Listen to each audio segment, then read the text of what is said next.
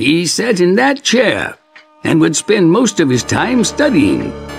He was able to master the English and French that I taught him in no time. By the time he disappeared, he was completely fluent in both languages.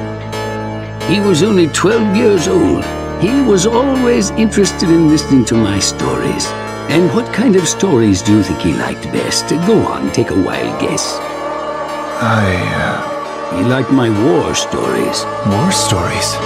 Any ordinary child would have probably looked at this as another adventure story.